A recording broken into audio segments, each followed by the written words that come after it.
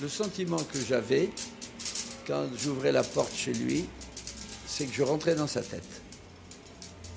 Euh, impeccable bureau, c'est-à-dire des feuilles de papier blanc, un stylo à côté, je veux dire. Euh, euh, sa tête claire et nette, mais aussi très, très peuplée, très, très riche. Et cet art primitif qui est sans aucun doute pour un, un homme épris de rationalisme et d'analyse la chose la plus difficile à cerner. la partie non visible de l'iceberg du monde, de l'humanisme, et dont il aimait s'entourer, est tout à fait significatif de sa dualité. Et quelle posture adopte-t-il? Assis tout de suite, serrait la main, il s'asseyait dans son fauteuil, son fauteuil de bureau, enfin, face à moi. Alors, et on commençait. Euh, sac au dos, vous connaissez cette nouvelle de Huysmans Un des chefs-d'œuvre du naturalisme qui prend place dans les soirées de Médan. Eh bien, il suffirait de transposer cela quelque peu, de le maintenir un peu moins à ras de terre, pour se faire une idée de l'humeur de certains jeunes gens dont j'étais, que la guerre de 1914 venait d'arracher à toutes leurs aspirations pour les précipiter dans un cloaque de sang, de sottises et de boue.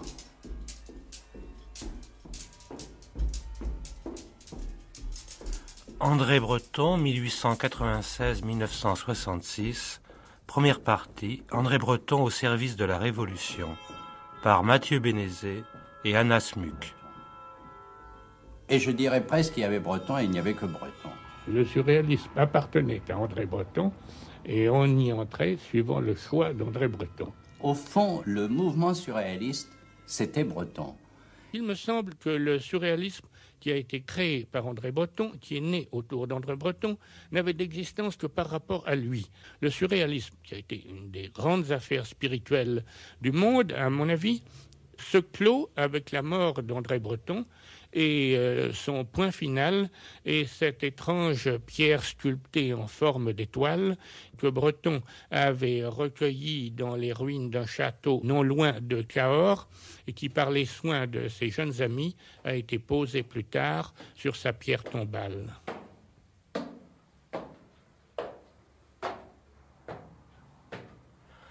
André Breton, 1896-1966. La sécheresse de l'énonciation de ces deux dates, 1896-1966, on mesure mal ce que fut le tropisme d'un homme et d'une œuvre. Une œuvre, un homme, André Breton, vers qui plusieurs générations après la Première et la Seconde Guerre mondiale se portèrent. Mais sait-on que nombre des plus belles têtes de ce siècle, peintres, écrivains, philosophes, cinéastes, etc., manifestèrent à André Breton une tendresse au-delà d'une adhésion.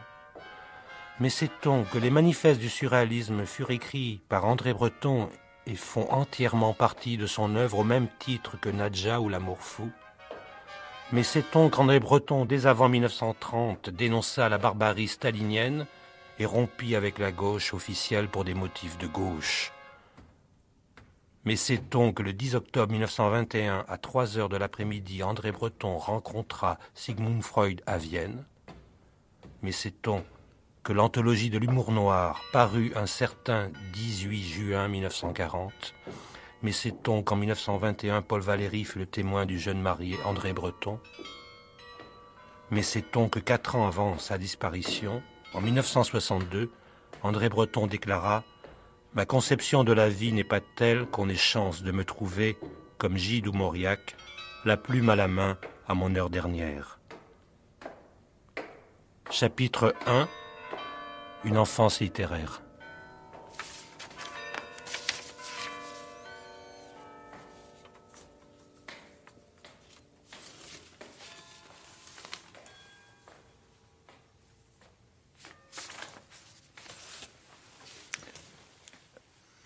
Georges Bernier sont là des coupures de presse euh, parues euh, à la mort d'André Breton, euh, prises un peu au hasard comme ça. Quel sentiment vous inspire-t-elle ces coupures de presse? Si vous me repassez ça, je vous dirai un peu.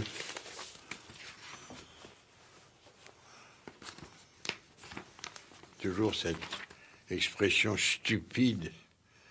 C'est chez Sex, le pape du surréalisme.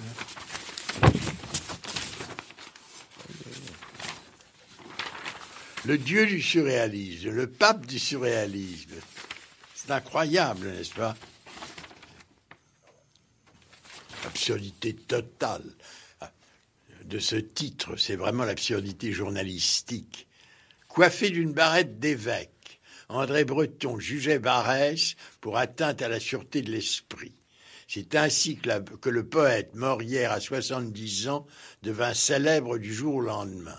Je ne sais pas de qui c'est, ça n'est signé d'initiales, mais c'est tellement la connerie qu'on fait sur une table de rédaction à la va-vite, et naturellement sans, euh, aucun souci de la véracité des propos.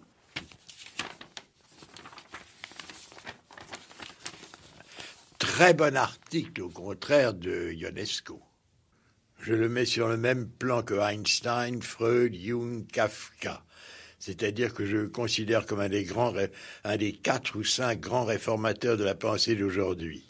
Le plus étonnant, et ça c'est très, le plus étonnant est celui, est que celui qui prônait l'irrationalisme était l'homme le plus lucide que j'ai connu. Il a découvert en poésie une troisième dimension de l'esprit. Voilà, bah, le reste. Ah, ah, regardez, il y a une chose très jolie dans le Parisien, c'est la fin. Déçu, alors je ne sais pas de quoi, André Breton menait depuis quelques années dans son appartement Montmartre 3 une vie quasi recluse. vous savez qu'une fois de plus, c'est ce côté légendaire qui inspire le journalisme. C'est tellement bien. C'est vraiment rien n'est plus drôle. Ça, c'est Paris Presse.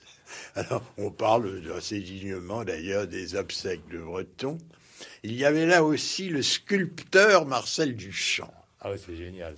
Avouez qu'il faut le faire. Quelle merveille.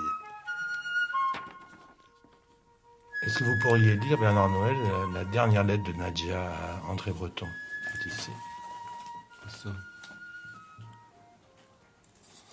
Merci, André j'ai tout reçu.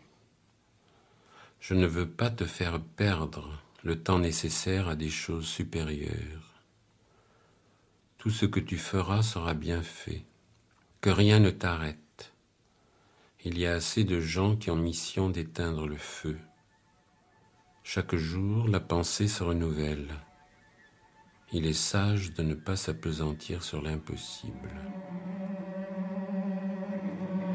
À première vue, Michel Butor. C'est quelqu'un de. Curieusement, c'est quelqu'un d'assez casanier, hein, qui a besoin de, de rester dans son, dans son quartier, dans son atelier, au milieu de ses collections. Mais pourtant, dès sa première période parisienne, il y a la promenade, hein, il y a le, euh, bon, la flânerie, je dirais la flânerie profonde à l'intérieur des rues de Paris. Et puis ensuite, il y a les, excursions, hein. passage en, Normandie euh, pour Nadja. Et, puis évidemment, avec l'amour fou, eh bien, le, paysage commence à se développer considérablement, avec euh, les Canaries et puis euh, ensuite, il y a les, États-Unis, le Canada, le, rocher de, Gaspé, et euh, l'île Bonaventure, etc. Et euh, là, Breton, il n'a pas une telle envie de voyage, mais dès qu'il voyage, il se met à, à ouvrir les yeux et je ne sais pas, le, voyage en quelque sorte lave son regard et il se met à découvrir des choses de plus en plus, euh, de plus en plus intéressantes pour lui. Alors, euh, c'est un, un, grand narrateur du quotidien euh, parisien, disons, mais c'est aussi un grand narrateur du voyage et de, de la rencontre en voyage. Je pense par exemple à ce texte qui est dans La clé des champs qui s'appelle le Palais Mazur. Hein. Vous voyez, euh, c'est une maison hein, euh, en ruine euh, extraordinaire au Mexique. Ou bien à, beaucoup, beaucoup d'autres textes d'adhésion à cette, disons, d'adhésion à cette nouvelle possibilité du monde que fournit le voyage. Je, je pense, vous voyez par exemple le, la description du jardin botanique euh, aux Canaries, avec les, les daturas. Et puis, évidemment, la, la, grande description du rocher Bonaventure euh, au début d'Arcane 17, avec évidemment le, le nom du rocher joue un rôle essentiel.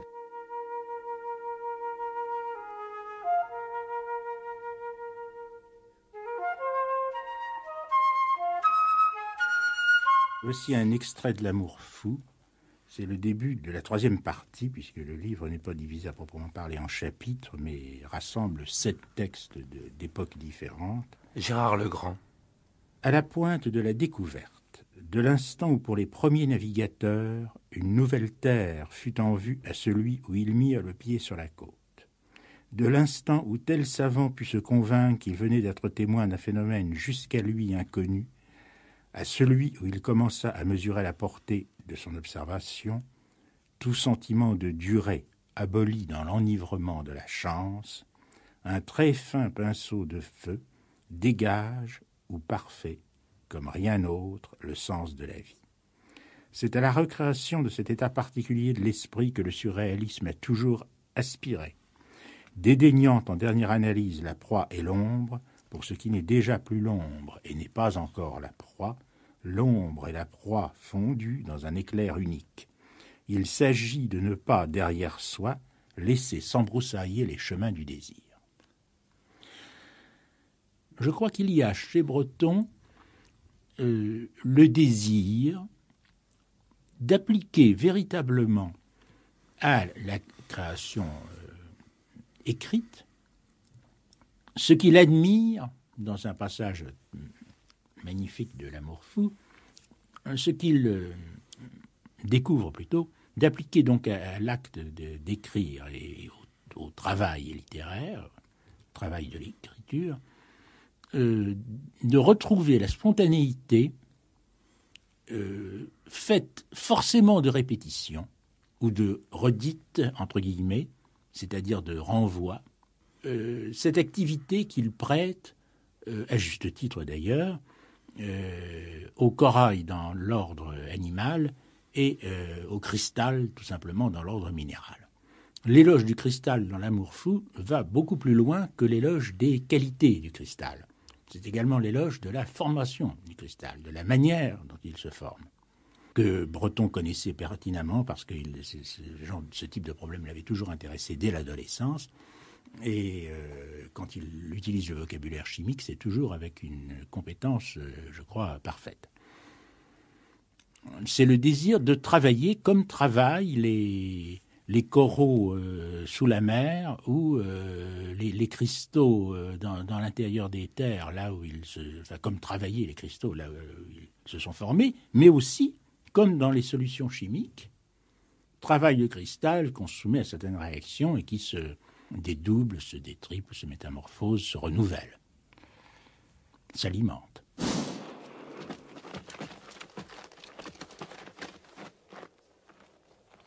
Il ne faut jamais avoir pénétré dans un asile pour ne pas savoir qu'on y fait les fous, tout comme dans les maisons de correction on fait des bandits. L'absence L'absence bien connue de frontière entre la non-folie et la folie ne me dispose pas à accorder une valeur différente aux perceptions et aux idées qui sont le fait de l'une ou de l'autre. Il est des sophismes infiniment plus significatifs et plus lourds de portée que les vérités les moins contestables. Les révoquer en tant que sophisme est à la fois dépourvu de grandeur et d'intérêt. Si sophisme c'était du moins c'est à eux que je dois d'avoir pu me jeter à moi-même, à celui qui du plus loin vient à la rencontre de moi-même, le cri toujours pathétique de Qui vive Qui vive? Est-ce vous, Nadja? Est-il vrai que l'au-delà, tout l'au-delà soit dans cette vie? Je ne vous entends pas. Qui vive? Est-ce moi seul? Est-ce moi-même?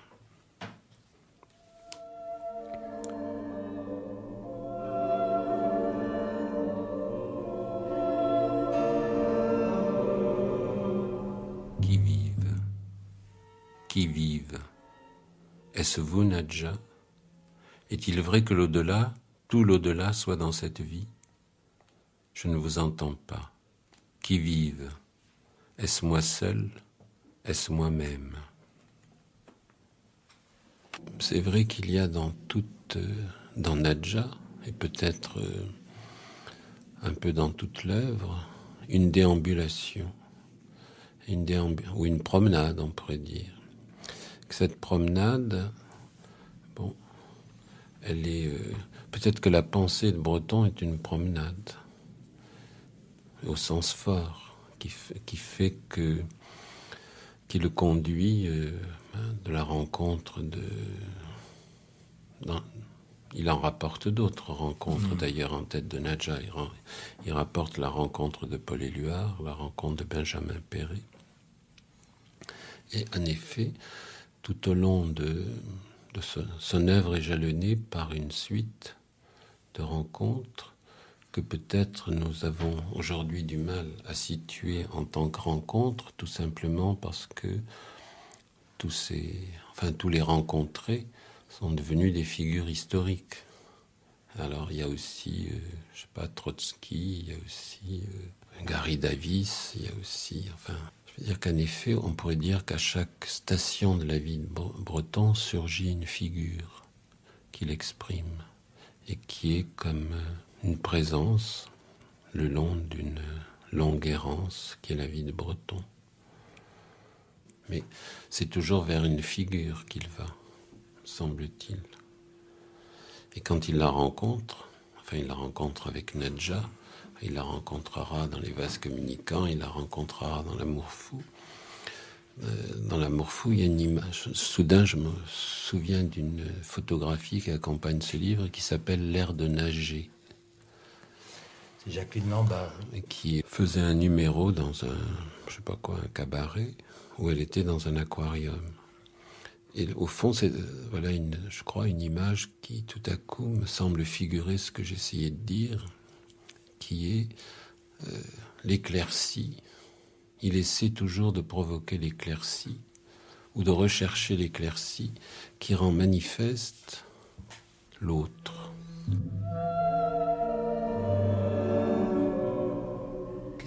prononcer à, propos de, j'allais dire, de l'homme qui écrit ces livres? Et, Il y a là quelque chose d'assez, euh, d'assez étrange, parce que euh, Julien Gracq, n'est-ce pas, parle fort bien, fait une supputation. Hein, ce n'est pas dans son livre, c'est dans un recueil euh, ultérieur, Lettrine, je crois. Il fait une supputation sur Breton, se mettant à écrire parce qu'il faut écrire, mais en réalité, euh, ça ne l'intéresse pas tellement.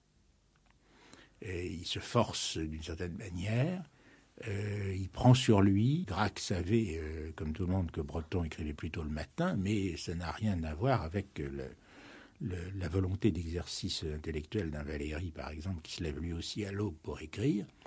Euh, Breton euh, se, dit bon ben il faut euh, voilà j'ai commencé un texte hier faut que je le termine enfin des choses aussi presque scolaires que ça et sa correspondance est venue enfin des extraits de sa correspondance sont venus révéler ce que Gracq avait deviné d'ailleurs la, notice de Gracq est amusante parce que elle est en même temps admirative il dit comment c'était une année esprit de cette 30 n'est-ce pas se trouve ben, il, se contraint il, prend sur lui pour écrire il écrit magnifiquement mais en réalité, il n'en est pas tellement euh, heureux. Le reste de l'écriture, c'est un effort pour, euh, pour se retrouver euh, en bonne intelligence avec lui-même. Parce que l'homme préfère la vie à l'écriture. Oui, mais est-ce que, pardonnez-moi de vous interrompre, Gérard Legrand, mais vous dites l'homme préfère la vie à l'écriture, mais est-ce qu'il ne est-ce qu'il ne demande pas à l'écriture de, modifier la vie, de changer, la, changer sa propre vie Y compris sa propre vie, évidemment. Et c'est là qu'est, est une, une, contradiction euh, féconde. Euh, parce que il s'agit en effet de, euh, de, d'une part, de ne rien laisser perdre, si possible, de, la vie. Il ne s'agit pas de, s'enfermer dans une euh, tour, euh, même si elle n'est pas en ivoire, n'est-ce pas? Même, il ne s'agit même pas de s'enfermer dans la, dans la retraite de quelqu'un que Breton pouvait admirer euh, éperdument comme Saint-Paul Roux. N'est-ce pas? Il ne s'agit pas non plus du manoir de Saint-Paul Roux, c'est pas ça. Hein. il n'y a pas de fermeture au monde, loin de là. Et en même temps, il y a le désir, en effet, que l'écriture quand même modifie ce qu'il y a d'intolérable dans le monde. Et est-ce que vous diriez euh, qu'il y a chez Breton euh, euh, refus du livre et mais désir d'une seule et même phrase? Je pensais justement à il y a, Il y a chez Breton refus du livre et je dois bien penser et dire qu'il y a probablement refus du livre avec le L majuscule, c'est-à-dire euh, du livre de Mallarmé. Le livre. Vous connaissez la fameuse phrase d'Aragon euh, Nous sommes partis là où Mallarmé s'est arrêté. Oui, c'est tout à fait vrai. Ça, il y a une démarche qui, est. Mais en même temps, cette démarche n'est pas. Euh, bon, il y a le refus du livre, et il y a en même temps, le désir, en effet, d'une phrase euh, ininterrompue, euh, éternelle, comme si ce que Breton avait reproché au livre de Mallarmé était sa cérébralité, c'est-à-dire le fait qu'il est essentiellement fondé dans la mesure où on peut supputer ce qu'il aurait été, il est essentiellement fondé sur des combinaisons que Breton admire quand c'est mal armé, qu'il qui y songe, n'est-ce pas Mais qui, dans son esprit, ne, peuvent donner sur rien, alors qu'une phrase ininterrompue peut être, par exemple, reprise par d'autres.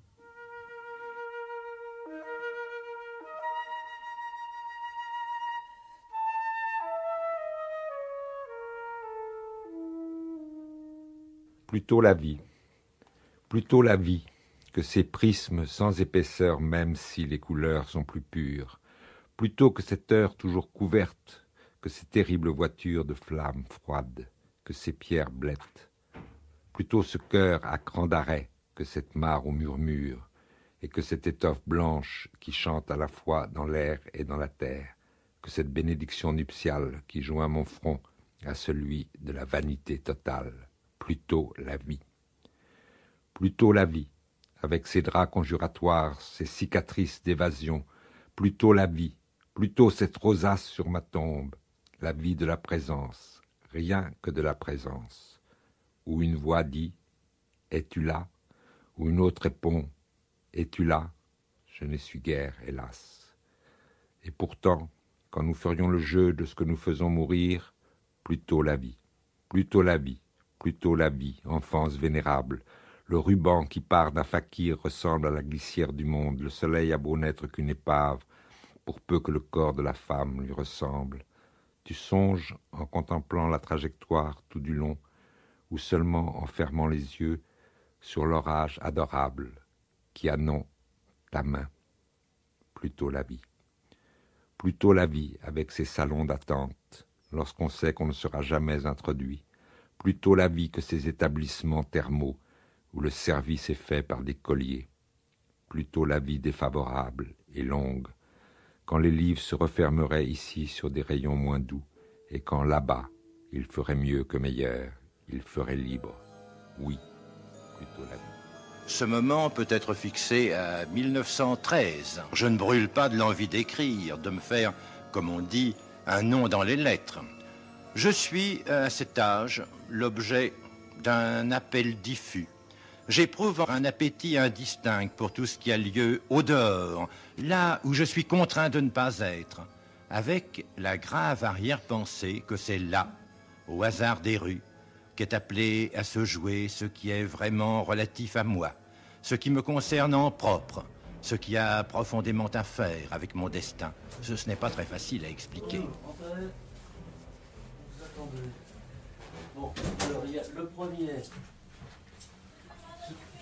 Bon, bon, celui-ci, derrière la fleur. Ça, on sera tranquille. On va peut-être attendre son départ, non? Mm, Oui, oh, bah, il en a pour une minute. hein, il, euh, il prend les chiffres. Là, le compteur à gaz est bloqué dans une petite armoire qui est elle-même bloquée par une table. Alors, au revoir. Au revoir. Ah bon. Très bien. Ça me fait souvenir que André Breton avait adhéré à la cellule. Mais voilà, du il s'est dit, oh là là, là, qu'est-ce que c'est que ça là Il a senti ça. Michel Descodins, j'ai le désir de dire de vous que vous êtes l'écrivain de la naissance et de l'enfance de ce siècle littéraire et artistique. Je rappellerai simplement l'ouvrage par vous naguère publié sur la crise du symbolisme. On trouvera peut-être donc dans la ligne des choses que je m'adresse à vous, Michel Descodins, pour évoquer l'enfance et l'adolescence littéraire d'André Breton. Oui, il y a d'abord une première chose qui est à noter, c'est que tout se fait dès la jeunesse. hein, la rencontre dès euh, le lycée avec Frankel fait qu'il y a déjà un groupe non seulement euh, d'amitié mais de préoccupations euh, littéraires et artistiques et qui se forment là. Quant au début du jeune breton, il faut bien dire que un garçon de 17 ans en 1913, euh, s'il est curieux de poésie contemporaine, a quelques difficultés à s'y retrouver. Ce qu'on lui enseigne euh, au lycée, à condition qu'il ait des professeurs vraiment très audacieux, c'est euh, justement Baudelaire, à la rigueur Mallarmé. On ne va pas beaucoup plus loin et euh, des jugements très sévères sont encore portés sur le symbolisme. Je vous rappelle que la première thèse sur le symbolisme a fait un véritable scandale en 1911 et que à la même époque, euh, l'élection euh, de Henri Régnier à l'Académie française est apparue euh, comme un, changement dans, dans les esprits et une sorte de reconnaissance du symbolisme.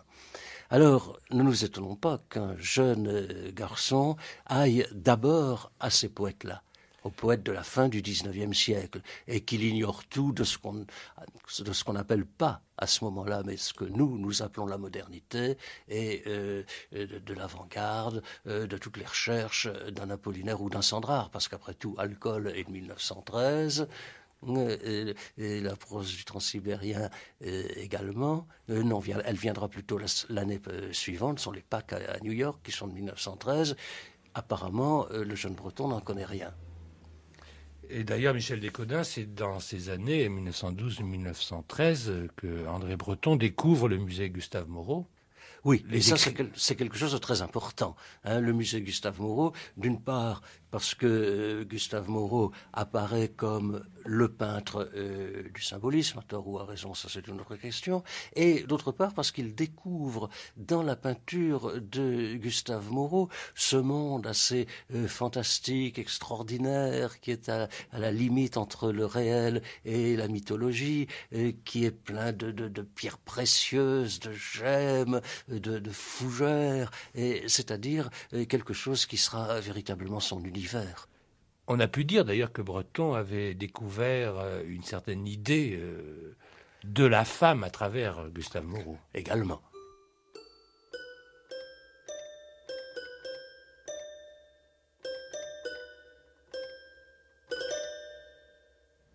Lise de Harme.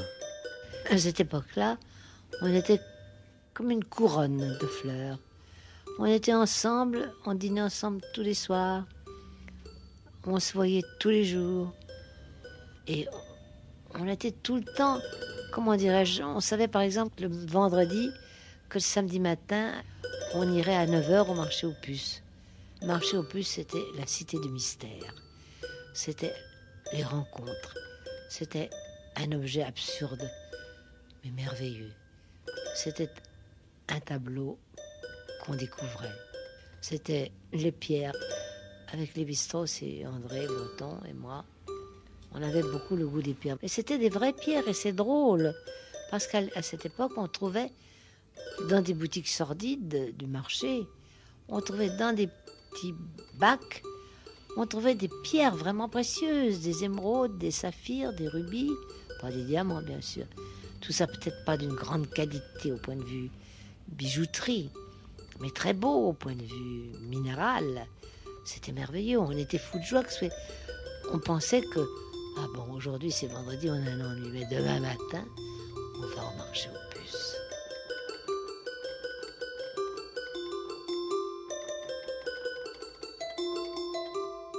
Le premier que j'ai connu est Jean Royère.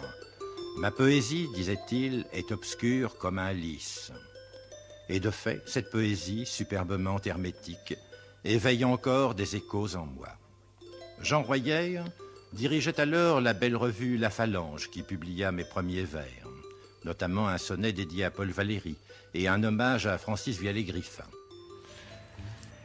Donc, euh, Michel Descodins, il y a Gustave Moreau, il y a Jean Lorrain, il y a Huysmans, il y a Maeterlinck, Henri de Régnier, Villiers de l'Isle-Adam.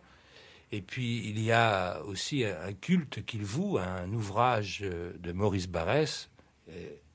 si on anticipe, il faut se souvenir, si je puis dire, de ce qui se passera plus tard en 1921, c'est-à-dire le procès Barrès. Mais il y a un ouvrage qui le fascine, dont le titre est Du sang, de la volupté et de la mort. Oui, oui, je crois que tous les noms que vous avez cités, effectivement, forment euh, une unité.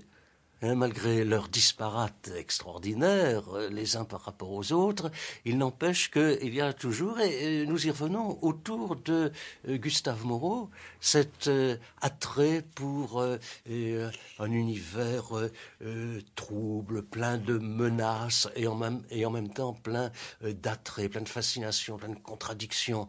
Dans une certaine mesure, il est toujours dangereux de mettre des étiquettes faciles, mais dans une certaine mesure, je dirais que plutôt que le symbolisme, c'est un certain esprit décadent qui apparaît là. Hmm? Et, ce sentiment que l'on trouve d'ailleurs chez, chez Lorrain en particulier, mais également chez le premier Barès, hein, ce Barès du sang de la volupté et de la mort, hmm? et, qui est euh, finalement un mal de vivre. C'est finalement la leçon de euh, cette opposition entre euh, une vie quotidienne décevante et une vie rêvée dans laquelle peut-être tout est possible, où déjà tous les contraires peuvent se résoudre. Donc il rencontre, si on peut dire, la dernière génération euh, des poètes symbolistes, c'est-à-dire Saint-Paul Roux, Vielle Griffin, René Guil et Jean Royer. Et Jean Royer.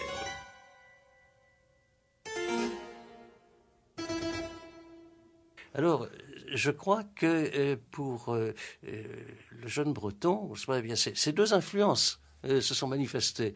D'une part, cet appel de Royer, ce souci de voir s'épanouir hein, de jeunes talents, et d'autre part, cette exigence extraordinairement rigoureuse dans la lignée de Mallarmé.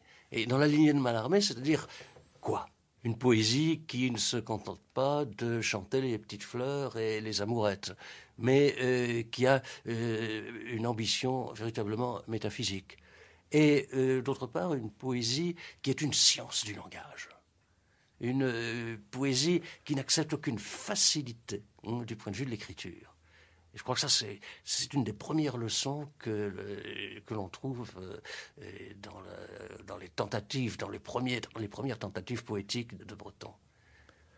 Et à cette même époque, André Breton lit la revue de Paul Fort, Vers et prose. Alors il lit en même temps Vers et prose. Alors là, je crois que euh, tout le monde lit Vers et prose à ce moment-là.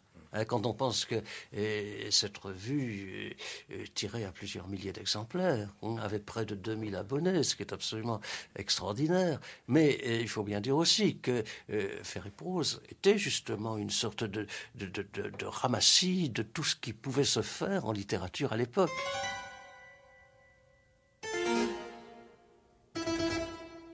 C'est une petite anecdote que raconter comme ça, sans grande importance. José Pierre. Qui m'a paru significative. Un soir, euh, au café, l'un d'entre nous, Robert Benayoun, pour ne pas le citer, s'en va plutôt que nous. Et quelqu'un lui jette euh, une plaisanterie euh, à propos de Paul Fort. lui en citant toutes les filles du monde vous laisse donner la main. Alors, Benayoun, il y a un personnage porté sur l'humour, sur qui aimait bien rire s'en va en disant Ah, ce, vieux con nous a s'est fait suer avec ce- cette histoire. Bon, se termine la réunion du café et il se trouve que ce, euh, soir-là, euh, ça, arrivait quelquefois, lorsqu'il y avait quelque chose en train, une exposition ou, quelquefois des jeux. Euh, on, on dînait après le café, on dînait rapidement et on se retrouvait chez Breton. On se cotisait en amenant une bouteille de rhum blanc, pour la- l'anecdote, parce que c'est le, seul, seul alcool qu'il trouva supportable. Et nous trouvons les quelques, quelques-uns d'entre nous, peut-être cinq ou six, euh, qui étaient confiés à cette réunion de travail, nous trouvons Breton dans tous ses états, à cause des propos tenus par euh, Robert Benayoun, innocemment en quelque sorte, sur Paul Fort. Oui, est-ce que nous n'avons pas toujours eu pour mission de défendre les poètes? À ce moment-là, il tire de sa, de sa bibliothèque un très long poème de Paul Fort qu'il nous lit pendant une heure. Et ça, c'est Breton aussi. Ça, c'est Breton, le défenseur. Pardon. le défenseur de la poésie, le défenseur des poètes. Comme le voulait euh, Paul Fort quand il avait créé la revue à la fin de 1905, et Vers et Prose établissait une liaison entre les, générations précédentes, c'est-à-dire le symbolisme, et les générations nouvelles, s'efforçant de montrer qu'il n'y avait pas de, rupture dans la continuité de la création poétique. C'est pour ça que pendant plusieurs années, on trouve dans euh, vers et prose à la fois des textes anciens, euh, Mallarmé, mais également par exemple du, du Gide de, de la première époque qui avait été tiré à 150 ou 200 exemplaires et qui était introuvable, Lautréamont. Il ne faut pas oublier que euh, le chant 1 de Lautréamont a reparu euh, dans euh, Vers et prose, mais que à cette époque-là, je ne sais plus si c'était exactement 1910 ou 1911, mais à cette époque-là, personne n'y a fait attention. Breton non plus. Euh, Breton non plus. Aragon, il était bien jeune. hein. Aragon, il était oui. bien jeune. Oui, Ara- Aragon qui a Aragon a, dit après qu'il avait découvert, etc. Mais enfin, il, il y a très très peu de, de réactions dans, dans la presse littéraire de l'époque.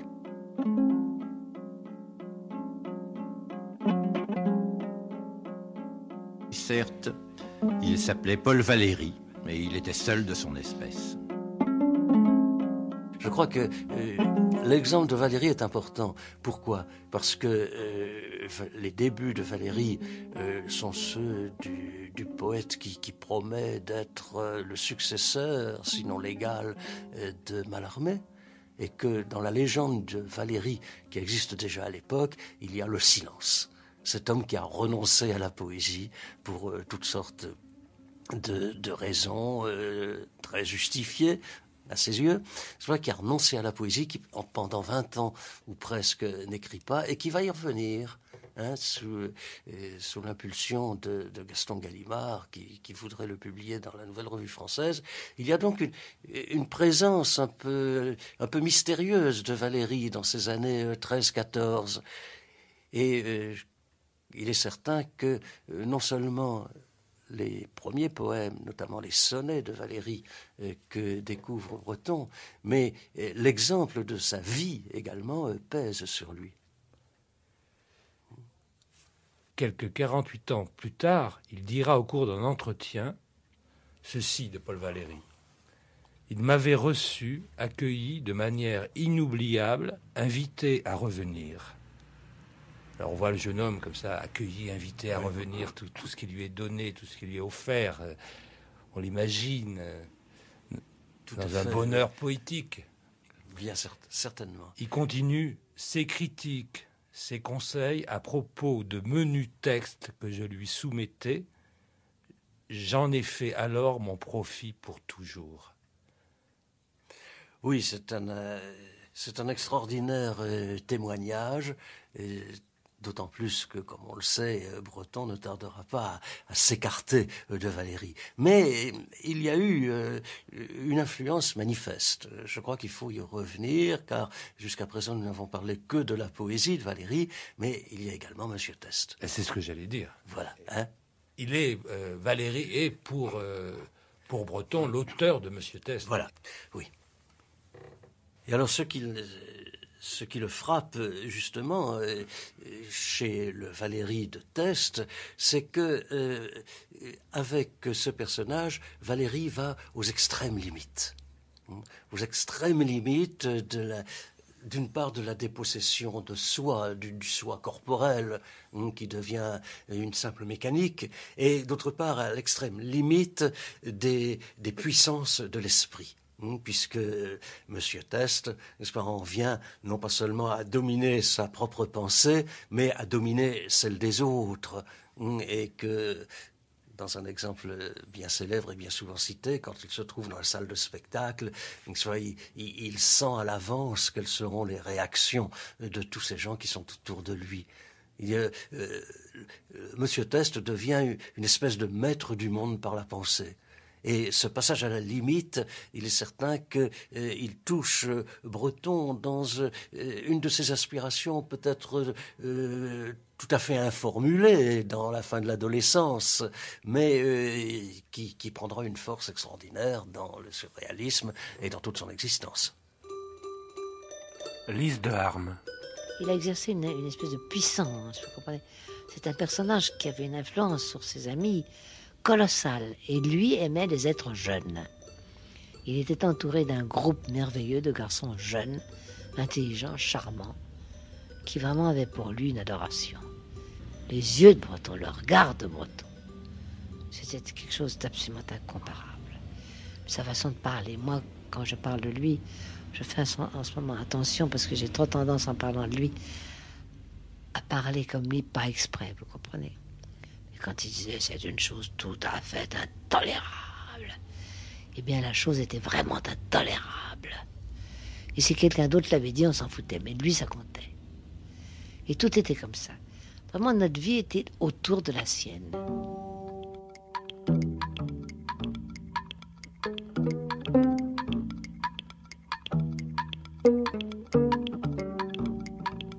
À vous seul, qui ne fût l'étrange poupée, seule ai-je dit, je pressens que sous vos mains petites, en précieux chignon ne fuserait la poupée, tout ce corne l'audace vert des clématites.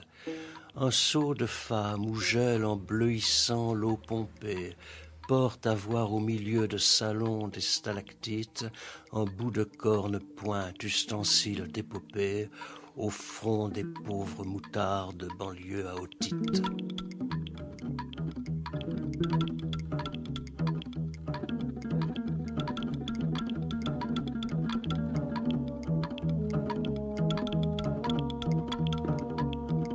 Est-ce qu'on pourrait justement regarder le, ces pages 1114 alors ces pages euh, réfèrent à la Pléiade, n'est-ce pas 1114. Donc euh, euh, la lettre, un extrait de la lettre que Valérie adressa à l'époque à la réception de ce poème. Alors, quand Valérie a reçu ce poème, il a répondu hein, par ces mots. Nous avons euh, lu vos derniers vers que vous m'avez envoyés. Ils font penser que vous êtes dans un état que les physiciens nommeraient critique. Leur brisement, leur art situé entre les types définis, le hasard introduit, voulu, rétracté à chaque instant, assure que vous touchez un certain point intellectuel de fusion ou d'ébullition, bien connu de moi, quand le Rimbaud, le malarmé inconciliable, se tâte dans un poète. Débat capital, perceptible si clairement dans ce sonnet où le solitaire, le volontaire, le seul soi, mais la rime exacte, la forme fixe, la recherche des contrastes coexistent.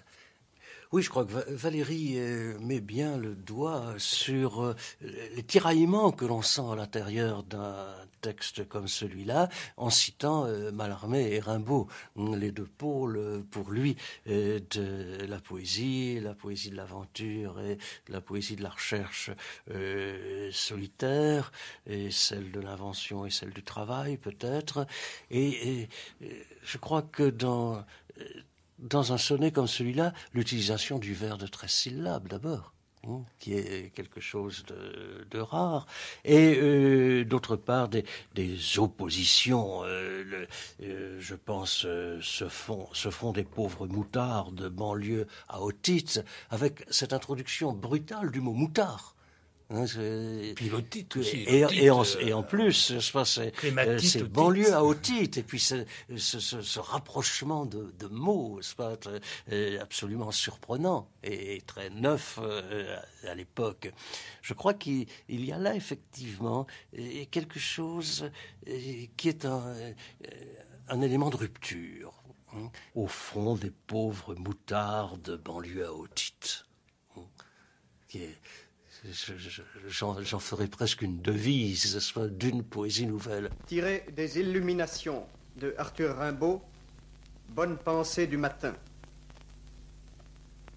À quatre heures du matin, l'été, le sommeil d'amour dure encore.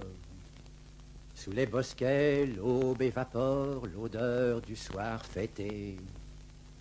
Mais là-bas, dans l'immense chantier, vers le soleil des Hespérides, en bras de chemise, les charpentiers déjà s'agitent. Dans leur désert de mousse tranquille, ils préparent les lambris précieux, où la richesse de la ville rira sous de faux cieux. Ah, pour ces ouvriers, charmants sujets d'un roi de Babylone, Vénus laisse un peu les amants dont l'âme est en couronne. Ô reine des bergers, porte aux travailleurs l'eau de vie, pour que leur force soit en paix, en attendant le bain dans la mer à midi. Et en 1914, Breton lit Rimbaud. Et alors, il y a euh, la découverte de Rimbaud. Le Rimbaud d'une saison d'enfer c'est sa grande affaire à ce moment-là. C'est Bateau Ivre, ce sont les illuminations. Et c'est l'année qui arrachera Breton à ses aspirations pour le jeter, et je cite les entretiens avec André Parino, dans un cloaque de sang, de sottises et de boue. Oui, exactement. Il partira avec Rimbaud. Il ira faire ses classes euh, dans le cantonnement euh, d'artillerie avec Arthur Rimbaud. Avec Rimbaud. Avec Rimbaud. C'est-à-dire ce il, est appelé, c'est la guerre. Oui, oui, oui. Il, il réalise euh, d'une façon assez extraordinaire euh, et peut-être sans, sans y penser lui-même euh, ce que Valérie analysait dans la lettre que nous avons citée tout à l'heure, ce tiraillement entre Rimbaud et Mallarmé, soit cet état de crise. Eh bien, il y passe, mais la réponse pour lui maintenant, c'est Rimbaud, c'est pas Mallarmé. Je crois que c'est le grand tournant. Louis Aragon. Je n'ai pas supporté la dégradation de la littérature de mon pays en 1914. J'étais contre elle très violemment montée. Pendant quatre ans, la littérature n'a pas existé en France. Il a existé un certain nombre d'académiciens, euh, d'écrivains du boulevard, qui ont montré leur patriotisme avec une telle générosité qu'on n'a plus vu qu'eux dans l'illustration ou dans les journaux d'alors. Ce que nous avions à opposer, c'était précisément ce dont personne ne parlait alors. Car enfin, parlez-moi s'il vous plaît de la morale de Rimbaud. Avouez que jusqu'à présent, il m'arrive de rire, assez jaune d'ailleurs, quand je vois les fêtes qu'on fait en l'honneur de Rimbaud à Charleville, dont les habitants étaient habituellement appelés par Rimbaud les carapoles merdis. C'est un, pas seulement la morale de Rimbaud. Celle de Lautréamont. Celle de Lautréamont, bien sûr. Philippe Soupeau. Nous n'avions plus confiance en rien. Nous étions complètement découragés, désespérés. Euh, il y avait eu le bourrage de crâne.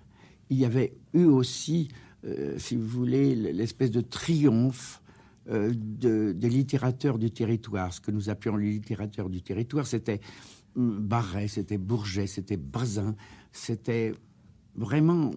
Nous sentions qu'il y avait une espèce d'abîme entre la génération de, des bourreurs de crâne et notre génération. Et même, nous ne pouvions pas, euh, même vis-à-vis d'Apollinaire, nous avions une attitude un petit peu méfiante en ce sens qu'il était euh, sous-lieutenant, euh, il était très fier, il écrivait dans une revue qui s'appelait La Bayonnette. C'était au fond un abîme qui s'était creusé entre trois générations.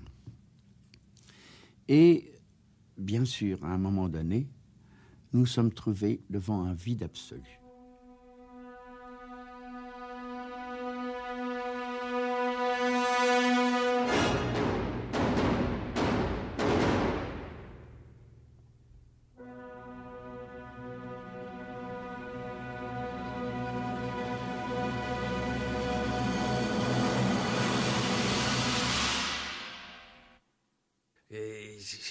Que l'expression de bourrage de crâne date euh, de cette époque. Michel Descodins. Et, euh, et, qui est vraiment euh, quelque chose de, monstrueux quand on le voit aujourd'hui. Et, il est certain qu'il y a eu une réaction de, de, révolte.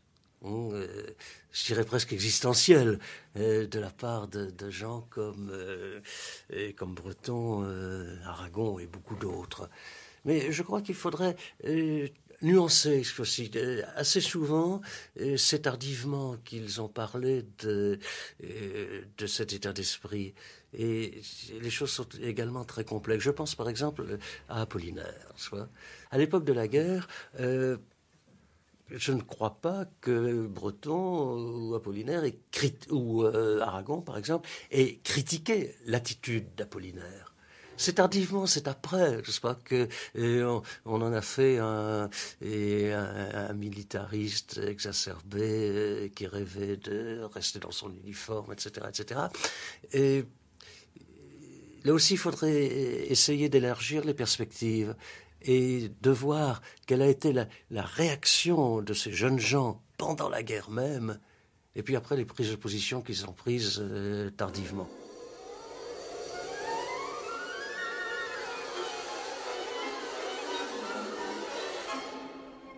C'était un très grand personnage, en tout cas comme je n'en ai plus vu depuis.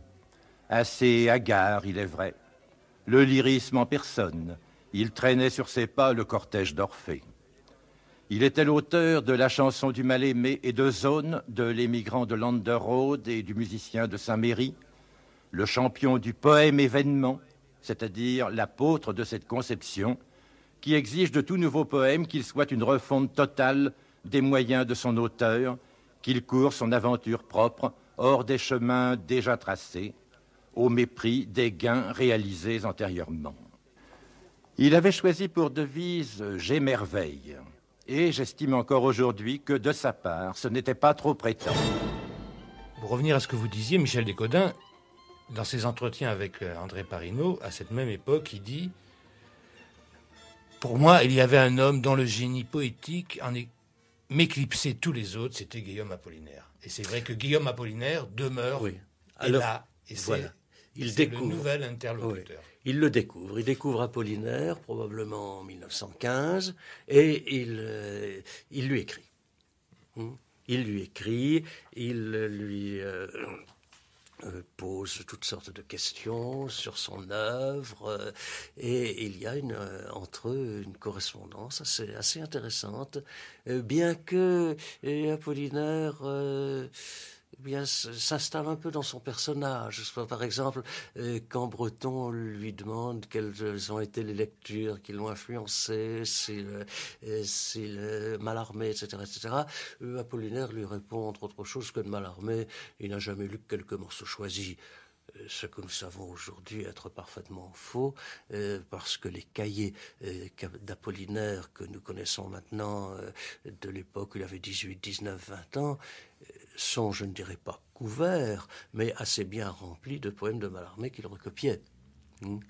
Donc, euh, euh, Apollinaire joue un peu son personnage. Hmm. Mais enfin, il n'empêche qu'il y a immédiatement entre lui et euh, Breton un échange un échange qui se fait facilement et, qui se comprend d'ailleurs par le fait que avec Apollinaire, il rencontre, comme avec Royer, quelqu'un d'extraordinairement réceptif. C'est la grande admiration. Ce que Apollinaire a appris, me semble-t-il, à ce moment-là à Breton, c'est que, eh bien, c'est pas dans la tour d'ivoire, c'est pas dans le rêve malarméen, hein, c'est pas dans, l'aventure extraordinaire euh, de Rimbaud euh, qu'est la poésie. Elle, est là, bien sûr, mais elle est aussi ailleurs. Elle est dans les rues. C'est là qu'on la trouve, la rue. Elle est sous le pavé que nous foulons. Hein, elle est euh, dans ces tramways qui sont la chose, surtout pour un homme du début du XXe siècle, la plus anti-poétique qui soit, cette masse de ferraille, soit qui fait du bruit, et qui devient à la fin de la chanson du mal-aimé, vous savez, les, tramways qui musiquent leur portée de rail, etc. Les garçons, les garçons de café, hein, qui euh, deviennent vêtus d'un pagne et qui nous suggère immédiatement un au-delà lointain, l'Otaïti de Gauguin ou toute autre chose. Mais pour ça, on n'a pas besoin de rêver, on n'a pas besoin de partir. Hein. il suffit de, se promener dans les yeux, dans les, rues, pardon, avec les yeux ouverts. Et ça, ben, ça sera le début de Nadja, tout simplement.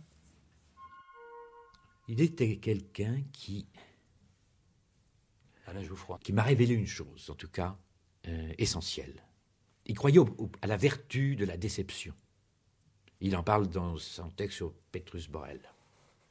Et un jour, il m'a dit pourquoi, dans un taxi. Il m'a dit, vous comprenez, cher ami. Il disait toujours, cher ami. C'était une manie. Pas seulement à moi, hein. tout le monde, tous les gens qui fréquentaient, c'était cher ami.